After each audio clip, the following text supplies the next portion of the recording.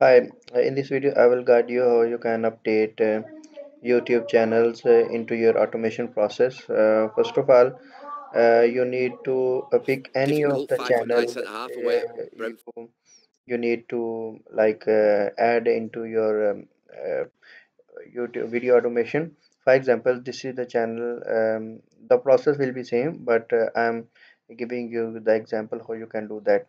For example, the Sky Sport Premier League. This is the channel uh, we want to add into your um, uh, like uh, automation process. So you can do that. Just uh, copy this channel link, copy it, and now you can search on Google YouTube channel ID. And here is the channel uh, com comment picker.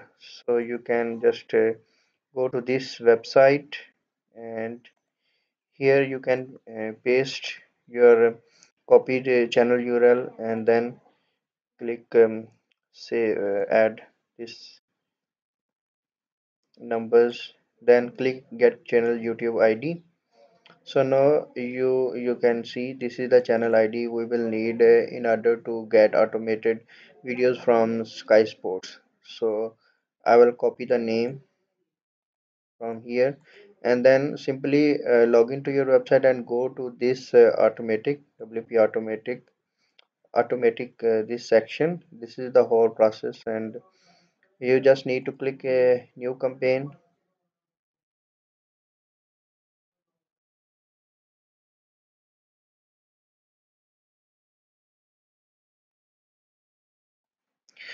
Uh, this is sort of option you will see. Now copy the title and now go to channel ID copy the channel ID here select YouTube. Here's here's YouTube. Select YouTube and then make it to maximum. And find an option card I uh, from specific YouTube channel and here you will paste a YouTube channel ID right? And then click this uh, don't use uh, keyword or filter. So now uh, we have set it up. Just disable this YouTube logo and here copy this video player. And just move this and only if you if you need description then have it. Otherwise you can also uh, delete this video description.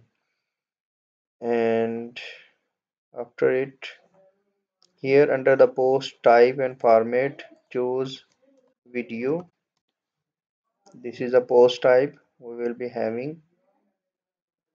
And must choose this option. We don't want to save um, images into our own server and that's why we will uh, get the URL based images from YouTube as well and pick this uh, option as well. And after that uh, pick this uh, category uh, video video category. And also skip if there is post is already published the same title. So this will uh, prevent uh, re reputation of uh, repetition of post videos and some these uh, option never for the same link yes. Again and this these one as well. So now go go up and here you can set the frequency of how how many times this um, uh, campaign will run. So normally I put uh, six hours. So it's it's good to have this sort of a frequency. You can uh, update at your own and then publish. Now it will publish uh, the campaign and uh, every that amount of time this campaign will run and publish content uh, for you. So you can see we have published the campaign.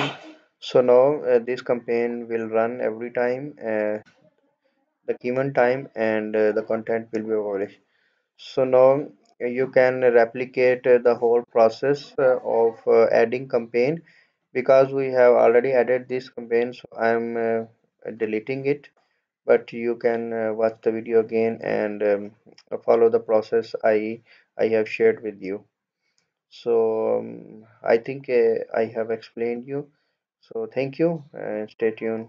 Thank you. Bye bye.